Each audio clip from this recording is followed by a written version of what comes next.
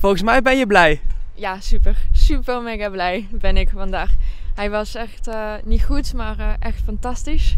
Uh, ja, ben ik een beetje teleurgesteld met de punten. Omdat dat was echt onze beste proef ooit, moet ik zeggen. Weet je de score?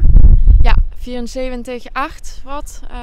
mijn eindjuryleden had met je op 71.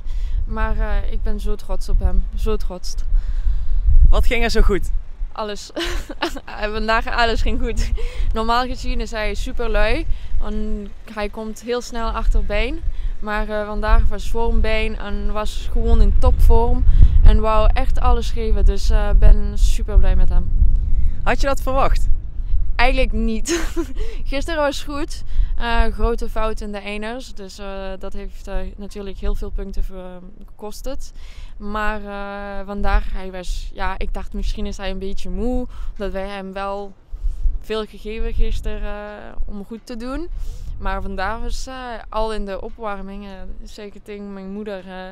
maar hij is wel een beetje fris vandaag. Dus natuurlijk als hij fris is, dan hij is echt top.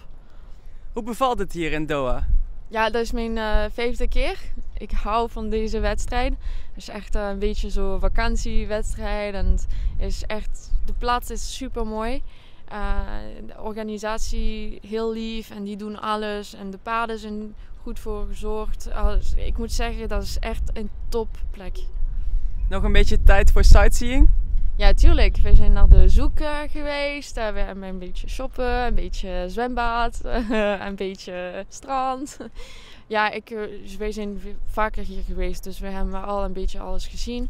En de, ja, de stad wordt elke keer groter en meer buildings en meer hotels en meer restaurants en alles. Dus ik vind het super fijn hier.